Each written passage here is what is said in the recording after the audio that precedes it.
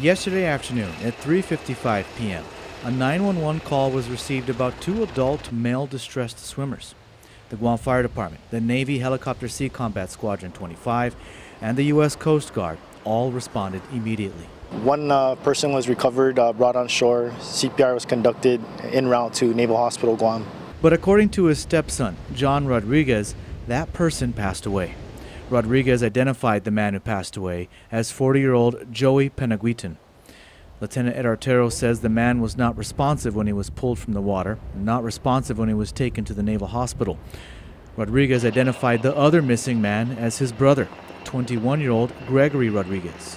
Rescue crews have been combing the waters off of Ipan since yesterday afternoon as they continue to search for Rodriguez.